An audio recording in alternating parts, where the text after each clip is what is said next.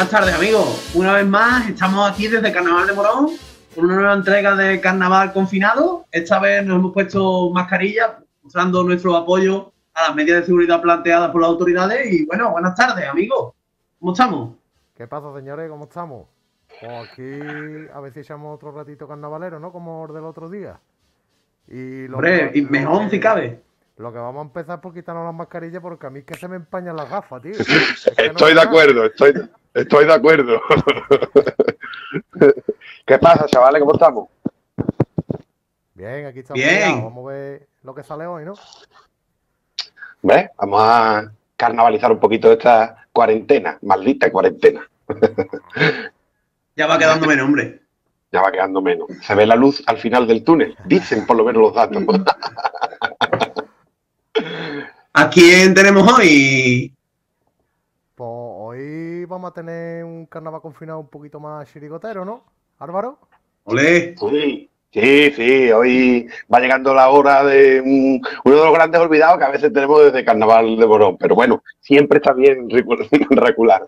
Hoy tenemos al alma mater de la chirigota eh, conocida en la jerga carnavalesca como la chirigota de la bachata, Jesús Rodríguez, y bueno, vamos a preguntarle que, cómo, son la, cómo se desengrana una chirigota, cómo se lleva a cabo el humor en un momento tan difícil como los que se viven actualmente, cómo se lleva a cabo el humor bajo las pautas de, la censura que hay, ¿no? Social, política, etcétera. Y bueno, vamos a echarle un poquito de carnaval y como decíamos, respetando siempre firmemente cuarentena, nos quedamos en casa y viva la vida y viva el carnaval, señores, vamos al lío. vamos ya. Buenas tardes a todos, comunidad carnavalera. Volvemos desde Carnaval de Morón, en este caso, en estos programas confinados que estamos realizando, eh, para contribuir a seguir quedándonos en casa y que este maldito confinamiento dure lo menos posible. Hoy vamos a tener un programa, como decíamos en la intro, eh, muy especial, muy dinámico, porque en estos tiempos de, tan duros y tan extremadamente difíciles que estamos viviendo, necesitamos endulzar eh, todos los momentos, todos los segundos y todos los minutos del día con carnaval. Para ello, hoy vamos a hablar con una persona que desde hace muchos años contribuye a esta fiesta, mm, participando, creando, realizando, etcétera, ¿no? Es el arma mater de la chirigota que se conoce entre los aficionados como la chirigota de la bachata. Es un tío acojonante, lo vamos a descubrir ahora. Es un carnavalero que lleva muchos años en la fiesta, como decía, y bueno, sin más preámbulo, vamos a saludar a Jesús Rodríguez y vamos a echar un ratito de carnaval confinado muy bueno. Jesús, ¿cómo estamos? Buenas, Álvaro. ¿Qué pasa, tío? Pues nada, aquí en casita. Bien, bien. Que es lo que toca, ¿no?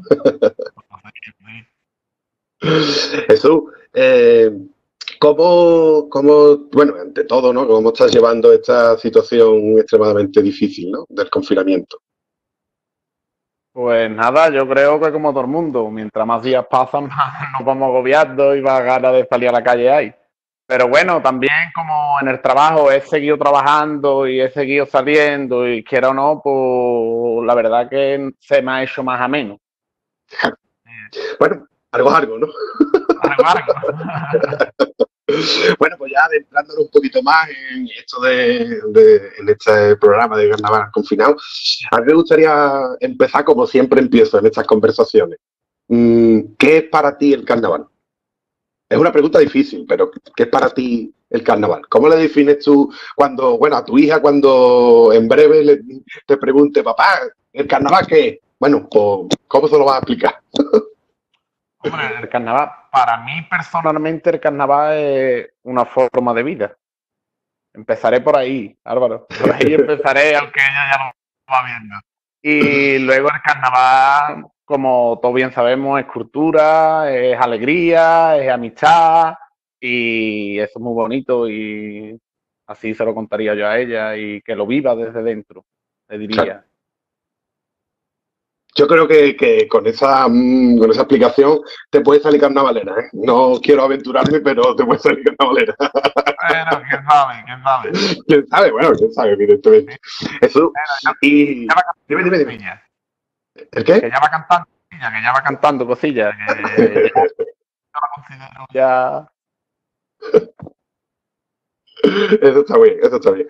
Que eh, ahora que, estamos viviendo estos tiempos tan difíciles con el confinamiento, pero bueno, ya venimos, eh, el humor viene pasando una, bueno, el Wyoming decía en un libro que hace poco leí, decía que, el humor ha estado en crisis durante, desde los romanos hasta ahora, eh, ha estado en crisis. ¿no? Ahora que, hemos estado, que estamos atravesando un momento difícil para el humor, ¿cómo es escribir una chirigota? ¿Cómo es sacar una chirigota a la calle con la censura que hay?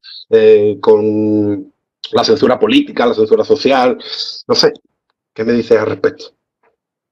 Bueno, no es fácil porque el humor ya es lo que estamos hablando, no es fácil hacer reír, llegarle a la gente en sí, pero yo creo que si das con un grupo como el que esto ahora tenemos nosotros, con ganas de transmitir, con ganas de interpretar, y es que te van llegando ideas, te vas captando ideas y al final lo vas encajando todo y, y parece ser que nos da buen resultado y que como lo realizamos es así, juntándonos, ideándonos y el uno te aporta una idea, el otro te aporta otra y al final llegamos a encajarnos y llegamos a hacerlo así. Bueno, en, esa- ese aspecto, claro, claro, claro. En, en- en ese aspecto, eh, es verdad que, las chirigotas que hay en Morón, que ahora entraremos en esa, ¿no? En la dicotomía de chirigotas y comparsas en Morón, la, eh, las chirigotas que hay en Morón son muy cooperativas, ¿no? En el sentido de que, mm, aunque hay un alma mate, aunque hay una persona que lleva la batuta, porque evidentemente en un grupo donde hay 15 personas, o hay 12, o hay 10, hace falta alguien que, cierta medida, organice un poquito, mm, son muy cooperativistas en el sentido de que uno aporta ideas, etcétera. Las comparsas son más cerradas, ¿no? En ese aspecto, ¿no? Sí, yo por, te hablo en nombre de nuestro grupo, cada año eso lo he ido viendo a más y es lo que me, me gusta del grupo, que cada año Jesús, pues mira, he escrito este cumple, a ver qué te parece, pues mira, pues lo leo, a lo mejor cuatro retoquitos, cuatro cositas que yo a lo mejor digo, pues mira, pues yo le cambiaría esto o lo otro, pero que me, que me alegra, ¿no? Que me alegra que uno, y cada año que hemos ido pasando, más se han ido mandándome cositas, pues he sacado esto, pues he sacado lo otro. Y la verdad que también eso eh, forma grupo y al final cantamos cosas de todo y está muy bien, está muy bien. Lo que tú dices, aunque uno lleve la batuta, uno lleva más o menos el guion, por así decirlo. Pero luego sí que en los ensayos salen muchas ideas y nuestro grupo, la verdad que por ese aspecto no tengo queja ninguna. y ahora, volviendo a lo que te decía anteriormente, se dice normalmente que, que, Morón es un pueblo comparsista. Comparsista en el sentido porque es verdad que generalmente hay más número de comparsas que de chirigota. Pero después eh, la respuesta del público es muy diferente. Sobre todo, por ejemplo, se puede ver eh, en un año como, como, este año, ¿no? en el teatro, cuando estábamos todas las agrupaciones, creo que el recibimiento más, más fuerte del teatro fue a la, una, a la única chirigota que hubo, que fuisteis ustedes. Entonces, Morón es un pueblo comparsista porque a lo mejor hay, bueno, hay más agrupaciones, pero después el público no entiende de categorías ni de... Hombre, el grupo tiene ganas, el público tiene ganas de pasarlo bien, Álvaro, y después de tragarte cinco comparsas, es normal que te cojan con los brazos abiertos. Y por nosotros encantados, la verdad. Pero bueno, eso de que Morón es comparsista, pues no te lo voy a negar, pero que hay muy buenos chirigoteros y que, que debemos estar ahí porque es lo que tú dices, luego el público lo agradece mucho una chirigota. Luego el público de Morón es muy agradecida con la chirigota y, y la verdad que es fenomenal. Vamos, que lo pasamos muy bien cuando cantamos con ellos, vemos a la gente cómo se ríen y nosotros la verdad que por ese lado queda un momento inolvidable con el público. Bueno, yo, es, verdad que, que- que el, hecho de decir que Morón es comparsista, mm, quizás más ahora que hay un número mm, más inferior de, de, chirigotas, porque es verdad que hace años había un número muy elevado de, de chirigotas. Es verdad que, que, bueno, son tendencias y a lo mejor ahora mismo estamos atravesando porque haya más, más, más comparsas y dentro de X años pues aparece enormemente un número elevado de chirigotas. ¿no? En realidad no se sabe. ¿No? Ojalá, ojalá. Ojalá haya un número elevado de las dos cosas, Álvaro.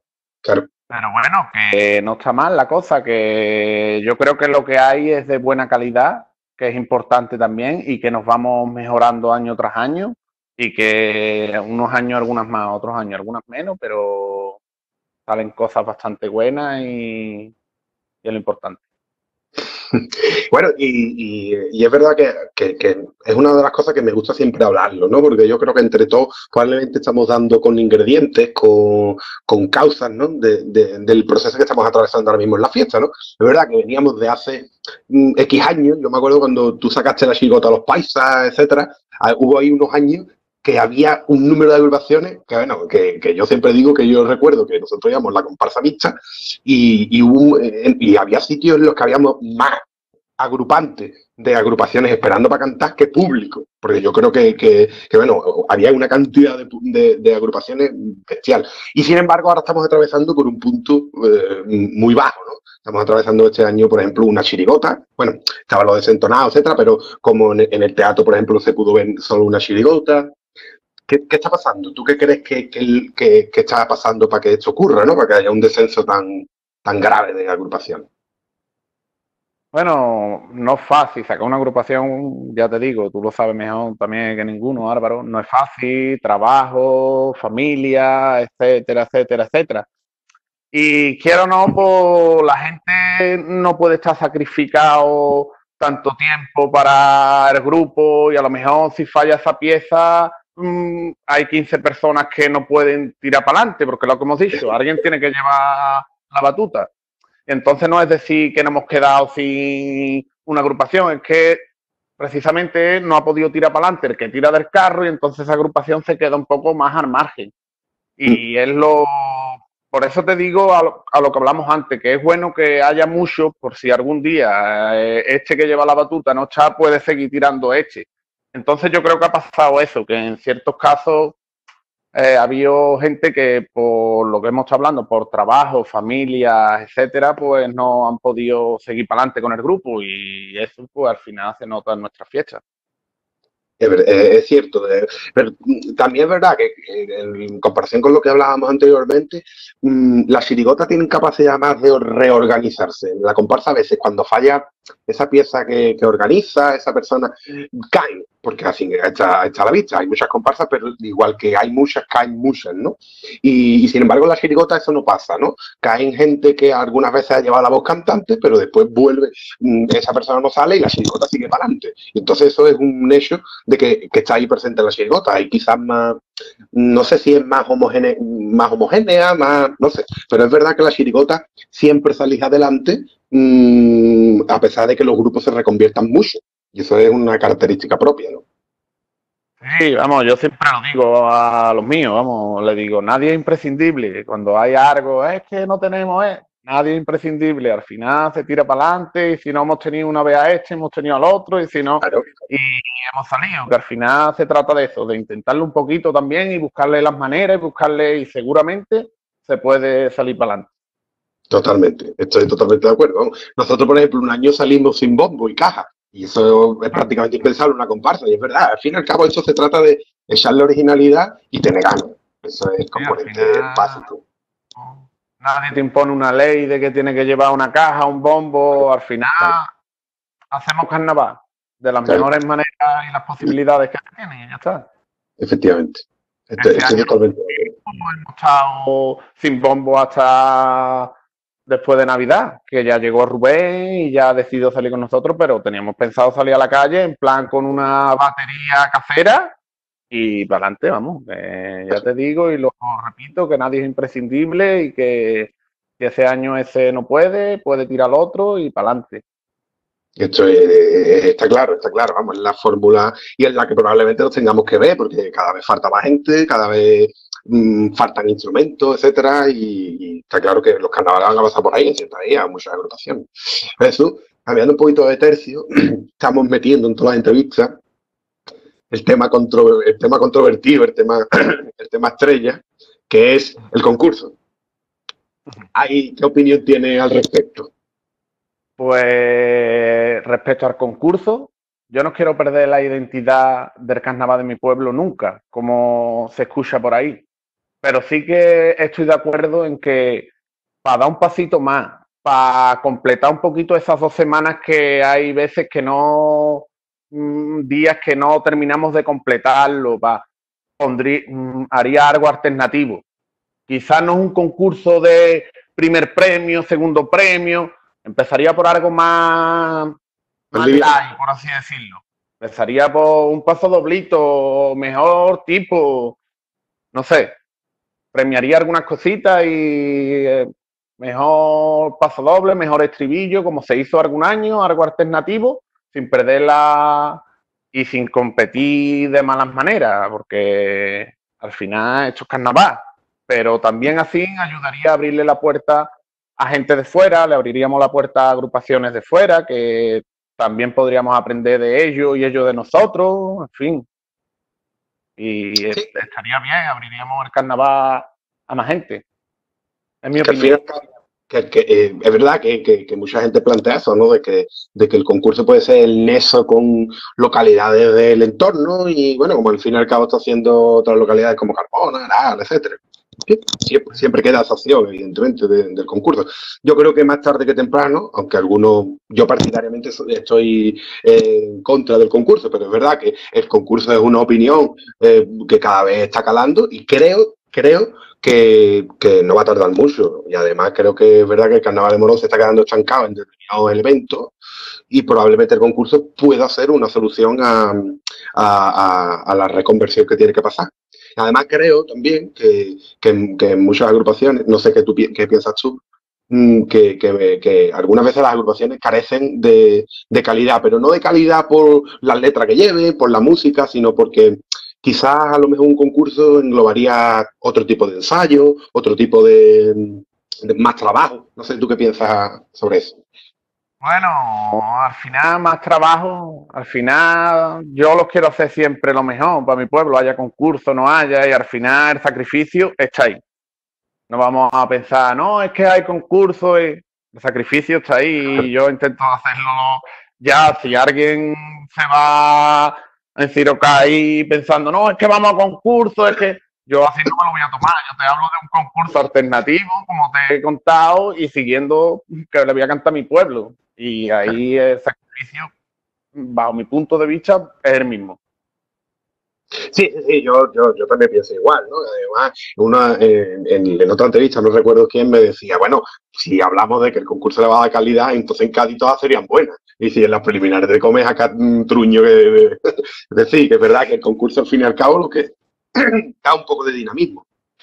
Y bueno, cambiando también otra vez de tema, que me, me, hay otro, otro punto que me encanta tocarlo. Creo que este año hemos pasado por un momento malo en tema de chirigota, etcétera, pero ha sido un año extraordinariamente bueno porque hemos contado con tres agrupaciones juveniles, infantiles, y creo que le ha dado un componente de vitalidad para nuevos años, para el futuro mm, del carnaval extraordinario, ¿no? Como, pero todos los autores, todos los componentes con los que estamos hablando, siempre nos dicen, ah, la cantera es muy importante, la cantera, la cantera, la cantera, pero nunca materializamos una propuesta real para la cantera, porque salir, tú, tú como todo el mundo sabe lo difícil que es salir, ya chavales y chavalas que se enfrentan por primera vez a, tomar la rienda de una agrupación, pues es como mm, aprender chino, porque esto es complicadísimo.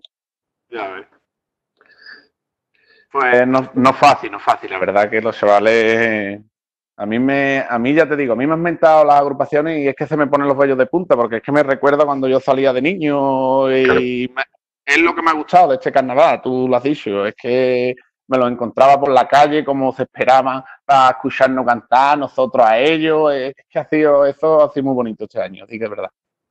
Eh, eh, efectivamente, yo creo que, los agrupantes bueno, y la gente que hemos salido este año, mm, aparte han dado una lección de humildad. ¿eh? Yo creo que, en lo que tú has dicho mm, es uno de los, de, los análisis, de los análisis que yo saqué. Esa lección de humildad que a veces olvidamos los adultos por las circunstancias que sean de que uno que no escucha al otro, etcétera, otro, y te encontrabas eso, ¿no? Que estabas cantando y te encontrabas a ellos esperando para cantar, pero escuchándote yo qué sé, eso que yo que hacía tiempo que no se veía. Vamos a ver, yo mm, generalmente uno escucha otra agrupación en determinado, en tal calle por la escucha o en tal festival, pero después vas a cantar ahí y, bueno, pues te sales, te fumas un cigarro, etcétera, esperando. Y ellos no, ellos estaban ahí esperando, mm, yo qué sé, una lección de humildad que nos han dado. Que, La verdad que a mí me ha llegado. Sí, sí, sí. Sido precioso, ¿no?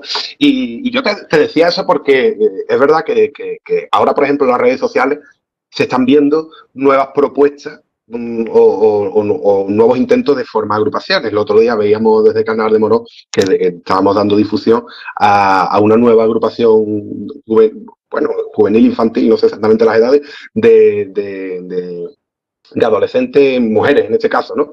¿Y, qué, qué, consejo le darías tú, ¿no? Tú que has empezado de niño, que eres canterano, ¿qué consejo le darías tú a ellas? Pues nada, el primer consejo, que no pierdan la ilusión, que van a tener momentos muy buenos y que sigan para adelante, que va, es muy bonito, van a aprender mucho, van a tener muchas amistades bonitas para siempre. Y nada, y momento y recuerdo inolvidable, seguro. Así que para adelante y aquí tienen mi ayuda para lo que pueda ayudar. Y eso, aquí estamos. Totalmente, ole. ole. Bueno, y Jesús, ahora recapitulando un poquito sobre, tu, sobre tus inicios, ¿cómo, cómo empezaste ¿no? en, en esta bendita fiesta? Pues nada, yo empecé donde hoy tengo el local de ensayo, y donde me alegro cada día que voy y me veo allí en fotos de niño con, con 10 años. Y empecé en la piscina, empecé con la comparsa de la piscina. Mi primo Francisco, el Quisco como ustedes lo conocéis, pues me llevó allí con ellos y me hizo partícipe de su comparsa saliendo de un baúl, en fin, haciendo mi pantomima, nunca más me dicho. Y luego, pues de ahí salí al siguiente año también creando ilusiones. Y luego ya estuve con el chiquitín, con el maestro chiquitín, que es con quien yo verdaderamente siempre he tenido de uso de razón. Me he criado en el pantano, amigo de mi padre, y yo siempre he querido salir con él. Y en el 98, pues ya logré de estar con ellos. Y hasta el 2008, si no recuerdo mal, con chiquitín 2009 los alérgicos. 2008 loro con el loro. Y luego hicimos los alérgicos Chiquitín y el Carlito, que lo montaron los dos. Y, luego en 2013 los Paisas Baratos. Me acuerdo perfectamente. Nos formamos nosotros, ya empezamos Chulu y yo por nuestro lado, por así decirlo. Y ya este, estos últimos cuatro años con la chirigota que, que ahora eh, estamos. Eh, Jesús es curioso que como el chiquitín, del chiquitín han salido un montón de ramificaciones, porque si te pones a pensar, eh, salió después el, el Carlito, a, ustedes que estáis ahora, ¿no? Porque después de haber los paisas y todo el rollo, habéis formado ya ese grupo que se está consolidando, bueno, se está consolidando, ¿no? Está consolidado ahí, y, al fin y al cabo, entre, en toda la chirigota, o casi toda la chirigota tiene un punto de conexión con el, con el chiquitín. Pues la verdad es que sí, el chiquitín, vamos, chiquitín para nosotros es el maestro. Nosotros, yo se lo digo siempre, que hemos aprendido con él y todo lo que conlleva de carnaval, y que es verdad que hemos ido modernizando cosas y vamos ya un poquito por nuestro lado, pero que las raíces vienen de ahí. Es más, todo el que nos escuche creo que, que y haya escuchado Chiquitín, se... canterano de él. Eso es, eso es bonito ahora volverlo a tener en cuenta, ¿no? Ahora que estábamos hablando de la cantera, cómo él había, eh, eh, o cómo él ha, sentado los cimientos de muchas agrupaciones futuras, ¿no? Como Carlos, como tú y tantos, ¿no? Y eso es mm, para valorarlo hoy día, ¿no? Que, se está poniendo en cuestión el trabajo de de la cantera. Y bueno, también eh, estos últimos cuatro años habéis consolidado esa chirigota revelación, con mucha instrumentación, eh, con mucho... Eh, con, que, le está dando una innovación a la fiesta, ¿no? Con ese sazo, con, una instrumentación que es muy bien recibida por el público, ¿no? Como, ¿qué, me dice? Pues nada, yo encantado, ¿qué te voy a decir? Pues la verdad que sí, que encantado. Intentamos de, como te he dicho, de hacerlo lo mejor y lo más animado posible para que la gente se lo pase bien, porque si la gente se lo pasa bien, nosotros nos lo pasamos el doble de bien. Al final, nosotros encantados. Y bueno, Jesús, estamos llegando a la recta final ¿no? de, esta conversación, pero me gustaría también conocer tu opinión acerca de, y valoración acerca de, la FEPA, ¿no? que este año has tenido un, un traspié con la Tacantina y, y, bueno, se ha puesto en cuestión el trabajo que está haciendo. ¿no? No sé si tienes alguna crítica, algún, eh, algún planteamiento, lanzado algún planteamiento. No, la verdad que yo apoyo a la FEPA al 100%. Porque las cosas se hacen mal estando ahí, Álvaro.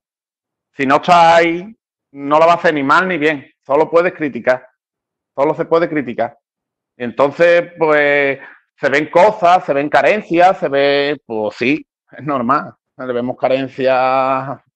Nos vamos a verle a la FEPA, que estamos empezando. Pero yo apoyo 100% en la FEPA y nada, me gustaría de aportar más, porque es más, tengo muchas ideas que se las intento transmitir a Álvaro, que sé que está y le intento transmitir, pero claro, llevando la chirigota, la familia, el trabajo, pues no me da tiempo como para poder entregarme lo que me gustaría. Pero sí es verdad que lo apoyo y, y me duele cuando lo critican, pero no están. Porque si se critica desde adentro y es para mejora, pues sí, pero si se critica desde afuera y no hacemos nada al respecto, no me gusta.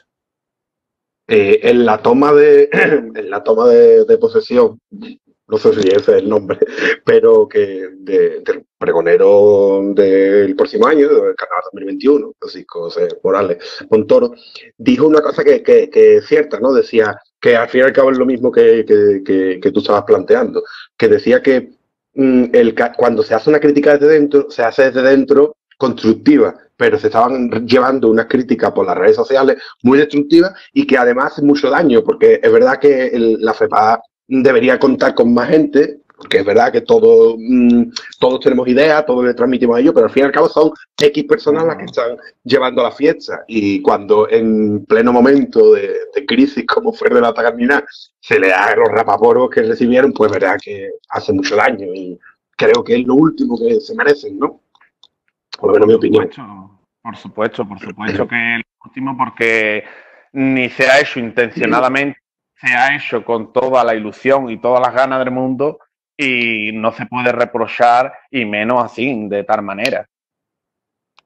Además, también está bien recordarlo, que, a mí siempre me gusta decirlo, ¿no? Que, es un trabajo altruista, que ahí están todo el año trabajando por una fiesta sin cobrar un duro. Y eso es un componente, mm, un amor al arte muy, muy, muy, muy fuerte, ¿no? Bueno, al cabo como, como todos los que estamos en los carnavales, ¿no? Pero bueno, que también hay que recargarlo, que están ahí manejando una fiesta que cada día tiene más aficionados bienvenidos todos y todas, pero que es muy complicado y están ahí de manera altruista y eso hay que quitarse el sombrero, por lo menos desde mi punto de vista.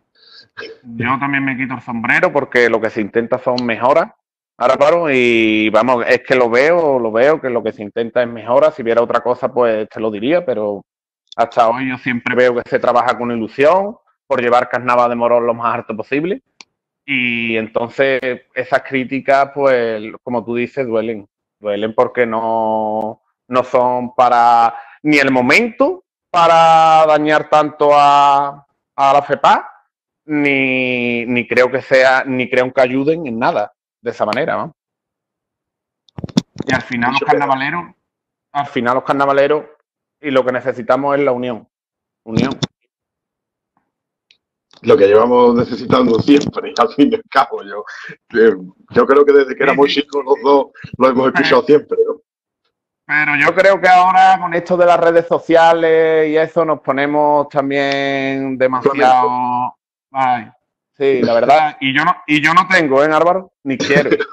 haces bien, haces bien. te ahorra mucho, muchas irritaciones, te lo, te lo aseguro.